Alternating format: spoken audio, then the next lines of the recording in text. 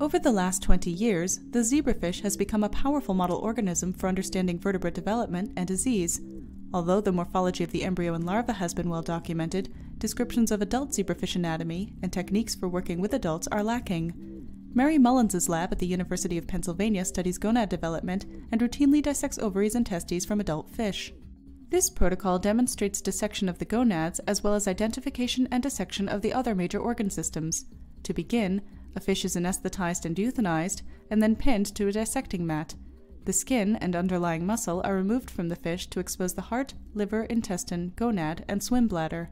The internal organs are removed from the body cavity for further examination or experimentation. Tripti Gupta from the laboratory of Mary Mullins in the Cell and Developmental Biology Department at the University of Pennsylvania will identify many of the organs of the adult and demonstrate how to dissect them from an adult zebrafish.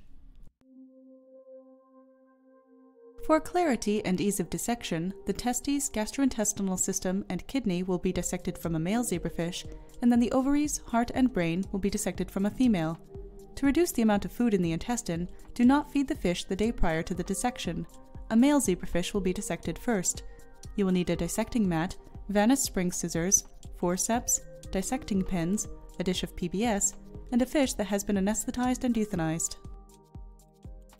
Lightly pat the fish dry on a paper towel and place it on its side on a dissecting mat.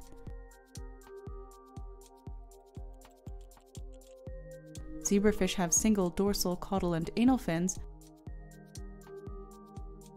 and paired pelvic and pectoral fins. Use dissecting pins to pin the fish to the dissecting mat through the fleshy part of the tail and the ventral part of the eye.